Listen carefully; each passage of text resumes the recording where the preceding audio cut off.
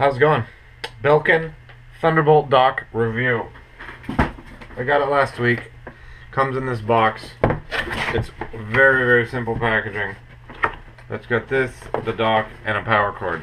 That's it. Obviously, I've already got my dock plugged in. Does not come with a Thunderbolt cable. So make sure you buy a Thunderbolt cable. this one happens to be two meters. Got it on Amazon. I'll put the link below. This is what the dock looks like.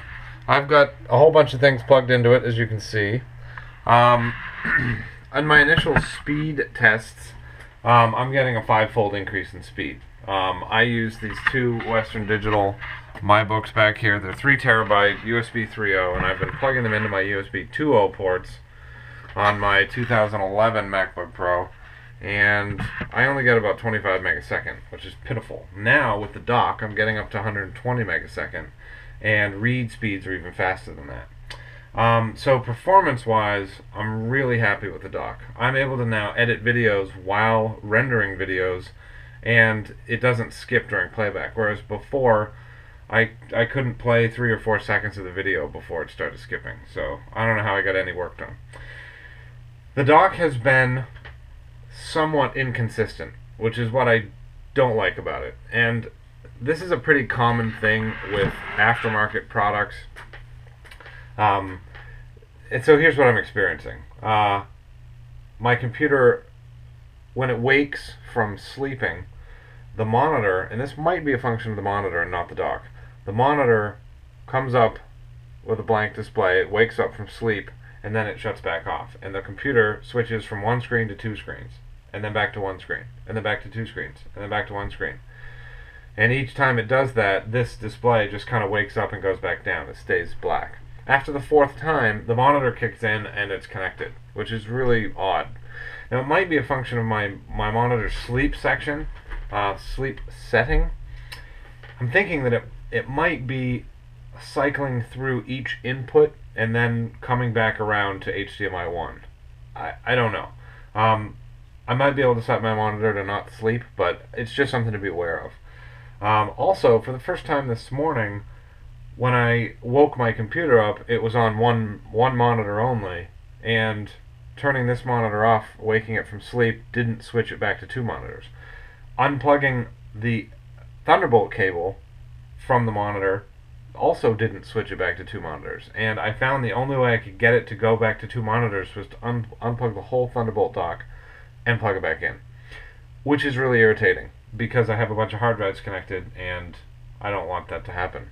So that's something to be aware of. And again, it might be a function of this monitor. So um, the other thing that I've noticed is that so I have those two Western Digital MyBooks plugged in when I plug the dock in, only one of the hard drives brings up its drives on the on the computer, which is odd. Uh, so I have to unplug the hard drive and plug it back in, and it seems to be only one of the hard drives doing this. So I tried switching the port locations where it was plugged in under the assumption that maybe this has a primary USB port that likes to fire up first. And that didn't help. It was still that same hard drive that wasn't kicking on each time. So that, again, might be a function of the hard drive and not of the dock. But it's something I experienced, so I wanted to tell you about it. Um, I tested the FireWire speed. It doesn't appear to be any different than the FireWire port on my Mac. Um, the speed was pretty much exactly the same for this external drive. Um, this is a FireWire 800 drive. So the FireWire speed seems to be the same. Obviously the USB 3.0 is way faster than my USB 2.0 ports. Um, I tested some speed for SD cards, but the SD card speed is is limited. Uh, the bottleneck is clearly the card and not the interface. So I didn't I didn't experience any increases in copying files from SD cards. Other than that, um, I've been really happy with it. I'd like a couple USB 2.0 ports because I'm finding I want to just have everything just always plugged in. For instance, this keyboard, which I I don't type at USB 3.0 speed, so um, it would be nice to have that plugged in. So I think I may look for a FireWire USB uh, hub or something so I don't waste my USB 3.0 ports. Um, I also have my audio, my speakers plugged in. One thing I noticed is that when I plug the dock in for the first time, it makes a loud pop. Um, kind of similar to plugging in an audio port. So just be aware of that. Um, other than that, I've been pretty happy with it. Um, definitely happy with the speeds. I also will note that I so I edit in Final Cut Pro and Final Cut Pro. I beat it pretty hard this morning and last night, and it did not crash. It stayed up, and I've I've had it I've had it dump on me a couple times, and I kind of feel like it's a function of the dock. Actually, the speed of the hard drive, everything's able to keep up with itself. So, um, really happy with it. So, thanks for watching.